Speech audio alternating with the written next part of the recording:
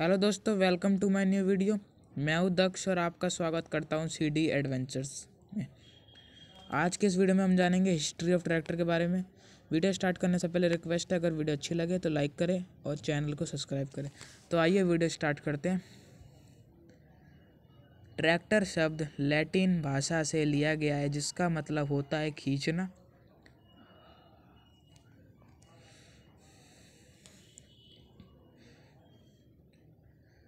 सबसे पहला tractor Richard Trevithick ने 1812 में बनाया था। इसे बार इंजन के नाम से भी जाना जाता था।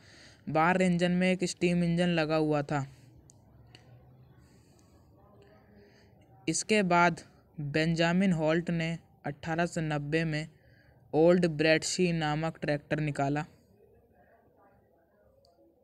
इसके बाद अट्ठारह में जॉन फ्रोलिच नामक अमेरिकन इंजीनियर ने ट्रैक्टर में स्टीम इंजन के रनिंग गियर में गैसोलीन सिलेंडर लगाकर एक ट्रैक्टर बनाया।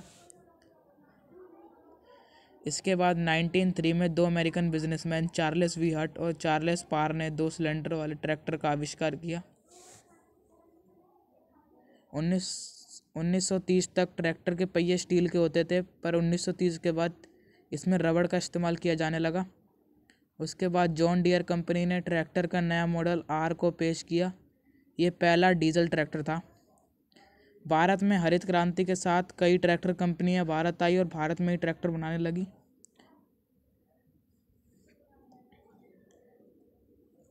और आज पूरी दुनिया में भारत सबसे ज़्यादा ट्रैक्टर बनाता है और बेचता है।